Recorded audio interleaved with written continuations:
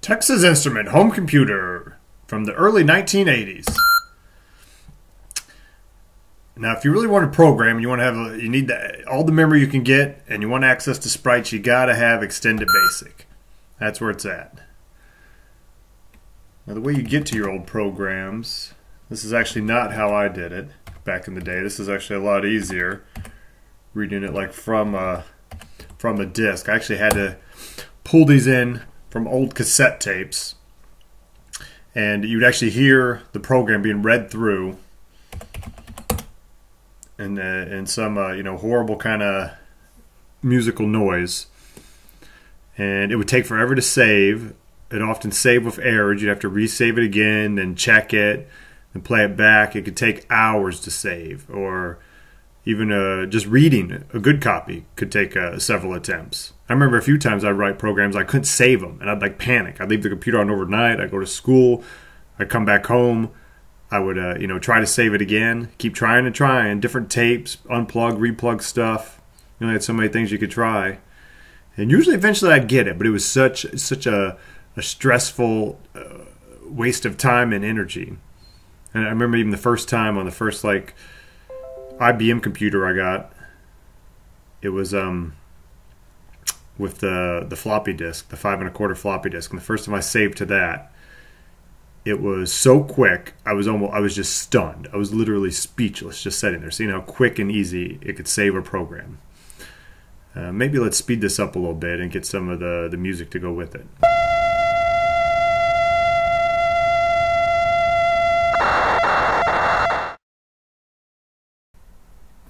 Science fair. Here, uh, you're in the science fair. Here's a volcano. Good volcano, kind of typical. You have the volcanoes, you had dinosaurs, you know, you had the solar system, you had different things. And I was like, computers. Back in 1989, small town Illinois, this was something different. Yeah. The audio's pretty bad here. It was I had more uh, more audio and it sounded a little better on the original TI, but uh, it sucked up memory. I had to take it out. And um, these are some harsh sprites here. Well, that scientist just jumped a bit there. Doing sprites was a lot of fun. Everything was uh, a good sound. A lot of um, everything was defined on a grid and then converted over to like a hex system, and then uh, that was converted over to to like just a long string of hex numbers and letters. And it was a good bit of work, but I really enjoyed it for some reason. One of the few things I actually got good at is doing converting binary and hex. Look at that guy, how happy. He went from paper shuffling to typing on a computer. Quite the challenge for the computer back in the day. And um, it was funny, the the kid who came in first, I came in second in the science fair with this, is he actually complained. He thought it was so impressive for the time that he complained to the teacher that I should have came in first, which is quite the compliment. It was funny. My uh, my kids were watching this, even though this was 25 years ago, and they're watching the weather. Computers can predict the weather. Like computers don't do a good job now predicting the weather. I'm like, you're kind of right. They don't, but eh, there's still a lot of potential there.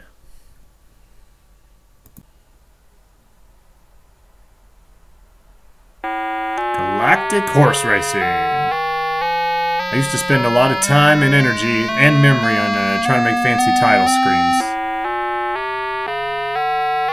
Uh, I remember that. Uh, some games, uh, the title screen it would, look great, and then uh, by the time I got to the actual game, I was kind of uh, out of motivation. But this one got was finished. It was a rare completion. Alright, we've cycled through all the colors, all the tones. Here comes the comet, little sprite, shooting across the screen.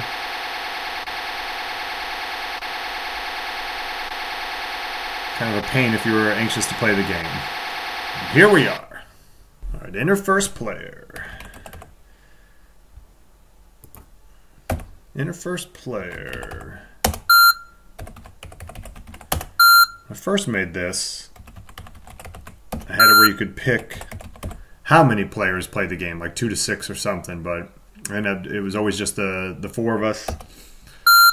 and it was just easier to take space, let's take that out save uh, save memory. Pick a horse to win. How much? I used to have it where you could also you could pick win, place, or show, and that actually made it a lot more interesting. But I had a lot of problems with that, just the, the memory always crashing. There might have been a more clever way to write it, or if I had more memory, it would work great. But it would actually blow up in the middle of the program. So as a shortcut, I just I took out place and show, and it was just going for the win. Setting up the track, and got the horses lined up, and they're off. got your audience in front. Well, number four is flying out of here. Every horse had a little uh, positive uh, kind of quirk and a negative quirk that made the race a little more interesting. So you got the audience, you got people, robots, and aliens. They change all three screens. Now hear the race, the horses start jockeying for position. Slow it down, speed it up, maybe backwards. And uh, I was really trying to push the limits of what the TI could do in terms of sprite graphics for the audience in the background and the racetrack itself. And having like the little sign in the background change and the starting and finish lines being in different positions. And uh, one of the reasons this is galactic horse racing is because animating horse legs running would have been a lot of a lot of work and memory. So it's just easier to have the horses hover Problem solved. Galactic horse racing. That's more interesting anyway. Oh, here comes number four. And he, what a what a finish! And uh, it shows the winning, how much you've won, how much you've lost. You get the stats in here, and after a while, these stats actually kind of became meaningful. However, the the TI randomized, you could start to see patterns. It even worked better when there was win, place, and show. But even with win, there was some some value to that.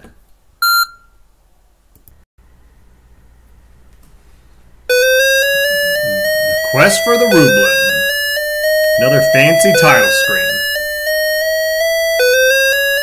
I even uh, this is one of the few times they even try to make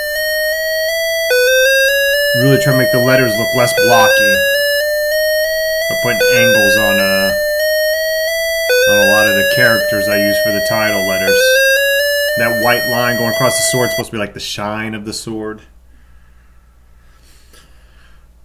There was a reason why I didn't have an enter key for this screen. I don't remember what it was.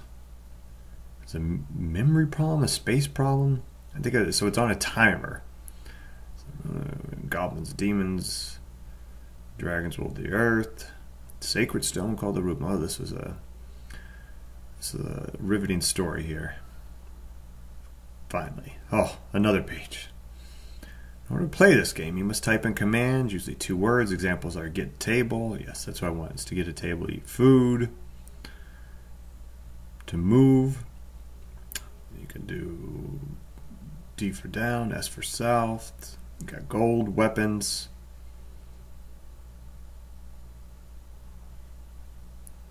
Seems clear enough. We got the rules. Ah. Now this is a good-looking text adventure game. I remember I was very frustrated as a kid playing uh, all the text-based adventure games. I always wanted to see some kind of picture, and then uh, it always I'd draw maps, and that was kind of part of the fun. But the maps would always end up not matching up once they got complicated. So I liked having a, a map on the screen. You got a little red dot to see where you are. You got a compass. You got all your stats right there: your weapon, armor, your life, your gold, where the exits are. Now, in this first part of the level, I use so much memory, I think, on the title screen and going through the instructions and showing the first part of the dungeon here. Because I don't think there's a whole lot to do to get in here. I haven't played this in years, but let's see if I remember. Open the door, get a little sound effect, doors open. Let's go north. You've made it to the inside of the dungeon. You will continue your quest by running the next program on this tape. The code word is rubber duck. That was the way I got around memory limitations. Each dungeon level would have a different code word. So you could go to the next next uh, dungeon by going to the next program on the tape and entering the code word. Load up the next program on the disc. Or cassette back in the day. But this is so much nicer. I'll never forget that. Going from cassettes to disc. All right. Rubber duck. Now, what if we try something else? Just quits. Doesn't even tell you what your mistake was.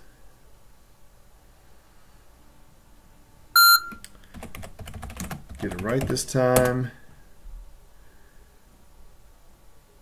Ah, we are inside the dungeon.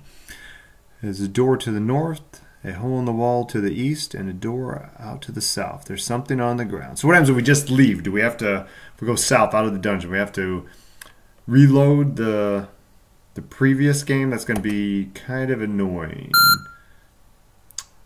You do not want to leave already? You have just begun. That's a good way to solve that problem.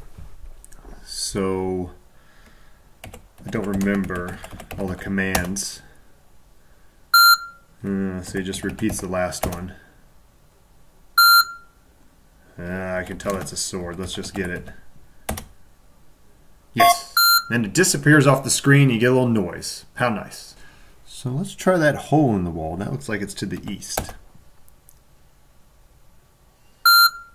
the end of a long hall, there is a small, slimy, ugly goblin. He appears to be guarding something, and you'd better act fast. Use sword. That is not what you want it to do. Oh my. Alright, that's annoying. Ah, beautiful. Alright, let's try this again. A little wiser. It started to come back to me. Alright, so we want the sword. We need some more supplies to fight that goblin. Now we're ready to go north.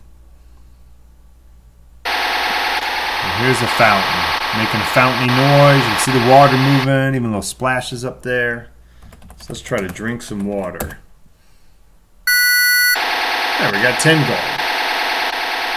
We should drink some more water.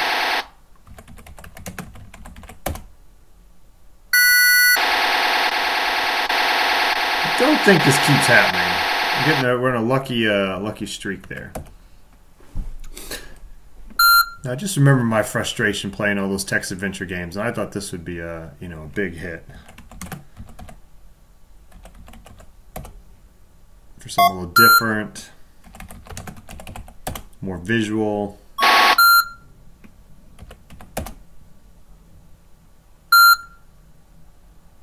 must pay him, so we will pay him. Says you not enough gold. He doesn't tell us how much gold we need. No, I really like the way this turned out. I remember I always uh, wanted to list it in like one of those little magazines where you could buy programs or they'd even you they'd even give you the code you could type in yourself. And that's kind of what got me started in computers. I think that my dad and I would type in games from magazines, which was very painstaking. We'd make mistakes. It would be funny to make the sprites look a little weird. And um, I remember like it would be variables like lives equal three, and it took me forever to realize I didn't have to put three in there. I could put like ten or thirty, and then could kind of hack the game. And that's really what got me started in coding. And um, I just remember how slow I learned stuff. Like just like call color was like a way to define different character sets with different colors, but I had no idea what the numbers represented. So I would just randomly type in, you know, start at one and keep typing in numbers until I got errors. And I would do that over and over, mapping out what commands made what colors, you know, what characters, what colors. Or I remember I was I was messing around doing like little print kind of animations, and I was doing this for like a year before I even realized there was for loops where I could uh, loop stuff instead of having to manually retype like you know like some uh, fire coming out of a rocket i would just retype the the the flame coming out you know 20 30 40 times instead of doing a loop. But i guess learning slow helps you uh, kind of lock it in after all that misery. So we are going to the fountain. I think we're i think we're ready to fight the goblin is, is what i feel. We have we have a sword. We have a shield. I think we're ready to fight the goblin. So let's go back through the hole in the wall to the east.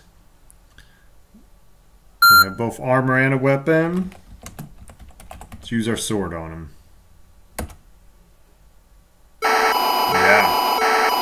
animation, turning red, he's dying. Beautiful. So we can't do it. we can't walk now. Can't walk up there. Just repeats the last command if it doesn't understand it. Open chest. Doesn't understand that either. I don't think my artificial intelligence kind of text reader was uh was all that sophisticated. Let's just get the, the treasure, right? Beautiful. 90 gold pieces. We have 110. That's got to be enough for the invisible man. So you can. It's easy looking at the map. See, I like this map. You can see that we an Exeter west. Open this door back up. Somehow close behind us. Head to the north. Ah, fountain. Let's risk it. Let's see what happens. Quenched your thirst. Well, that's good. Back up to the little triangle room. All these doors are closing behind us, but the shield's not there. At least I remember to to remove that. Alright, now. Now maybe we can pay him. Well, if I spelled it right, that would help. Pay him. Gold disappears. You assume it is safe to go down. D for down the ladder. The second level of the dungeon. Code word is cow. Well, these are good code words. So it kind of goes on from there. That was a uh, that was one of the more complete programs I created back in the day, and kind of pushing the the limits of the TI, its memory, and its graphic capabilities to the limit there. But it was a, a lot of fun writing these kind of programs. A lot of fun playing them, a lot of fun sharing them.